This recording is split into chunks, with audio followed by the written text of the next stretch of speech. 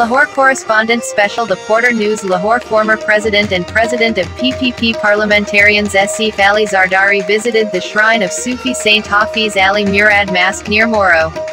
The former president laid flowers at the shrine of Sufi saint and offered Fatiha, while he also visited the shrine of Sufi Saint Hafiz Muhammad Jan.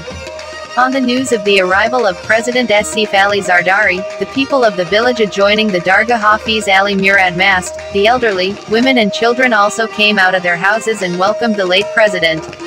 The people of the village saw President Asif Ali Zardari and chanted slogans of Jai Bhutto and Prime Minister Bilawal. The former president went to the villagers and thanked them for the warm welcome. You are my mothers, sisters and daughters, he told the women present.